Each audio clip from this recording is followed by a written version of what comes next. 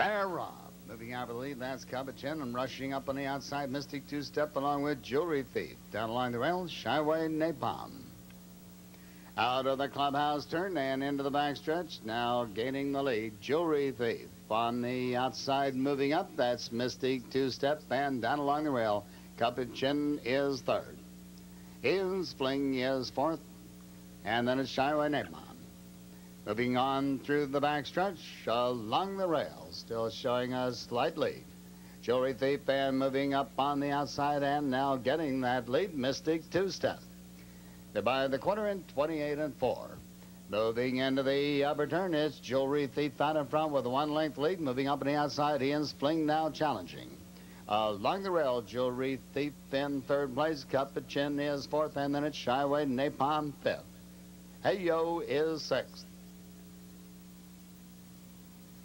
Into the straightaway and passing the stand.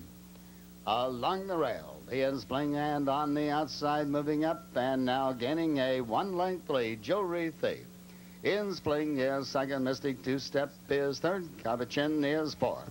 Shyway Napalm is fifth, Hey Yo sixth, Amy's Beaner is seventh, moving up now, Susan's Jewel is eighth. Lady Mermaid ninth. They passed the half in one minute flat. Out of the clubhouse turn and into the backstretch with a one-length lead. Jewelry Thief in second place. Ian's Fling.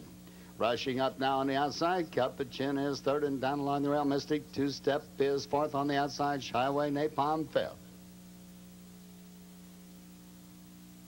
Approaching the far turn with a one-length lead. Jewelry Thief on the outside. Moving up now to challenge Chin. Along the rail, Ian's Fling is third, moving up once again on the outside. That's Shyway Napalm.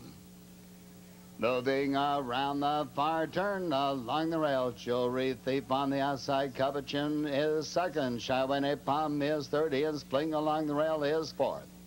Mystic Two-Step is fifth. Out of the far turn and into the stretch.